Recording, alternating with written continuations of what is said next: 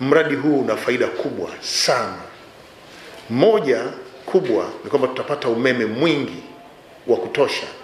So, mradi huu tunazalisha megawati 2115 lakini na megawati ambazo sasa tunazitumia zaidi ya 1500 tulizonazo ni umeme mwingi wa kutosha, na mwingine tutauza nje ya nchi.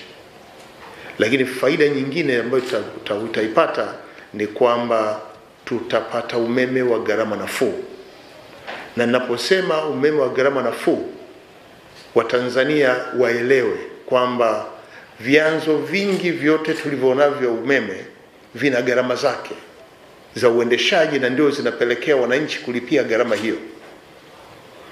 Umeme wa maji gharama yake sio zaidi ya shilingi 36. Hata kama kutakuwa na mabadiliko ya bei haitazidi shilingi hamsini. Lakini umeme wa gesi ambao unapatikana chanzo cha gesi, na tunayo gesi inatoka Mtwara, inatoka Songo Songo pale Kilwa, ule ni shilingi 147 kwa unit.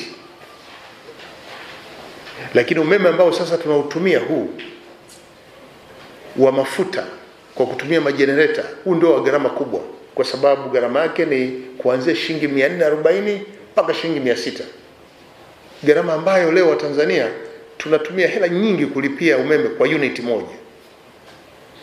Stadi hii ambayo ilifanywa na viongozi wetu hawa eh, rais wetu Mama Samia na aliyekuwa rais wa Jamhuri ya Muungano wa Tanzania waligundua kwamba nchi nyingi zinazotumia umeme wa maji wananchi wake wananufaika sana kwa kulipa gharama ndogo, na kwa hiyo ni rahisi kuendesha pia shughuli zote zile za kibiashara.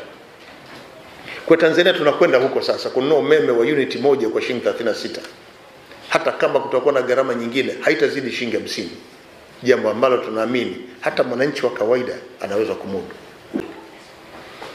Kazi hii inayofanywa na makampuni haya mawili Elsewed na Arab Contractor, tulikuwa na makubaliano ya kukamilisha kwa wakati na sisi kuwalipa kwa wakati. Faraja ni kwamba mradi huu tunaendelea kulipa kwa wakati, lakini mradi huu mnajua, hizi ni ndoto za baba wa taifa Mwalimu Julius Nyerere, lakini pia viongozi wetu wawili waliamua kutekeleza ndoto hii nao ni marehemu Dr. John Pombe Magufuli aliyekuwa rais wa tano ambaye kwa sasa ametangulia mbele za haki, kwa pamoja na rais wa Jamhuri ya Muungano wa Tanzania na amiri jeshi mkuu Mama Samia Suluhu Hassan ambaye bado yupo na anafanya kazi.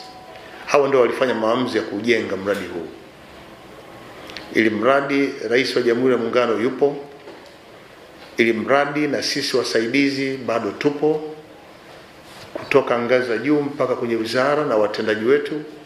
Nataka niwahakikishie Watanzania huu mradi utakamilika kwa wakati, kwa sababu fedha tunayo, wakandarasi wanafanya kazi yao vizuri, wataalamu wetu mainjinia wanasimamia, na taasisi yetu au shirika letu la umeme likiwa ndio jukumu lao kubwa, wanaendelea kusimamia kwa umakini mkubwa.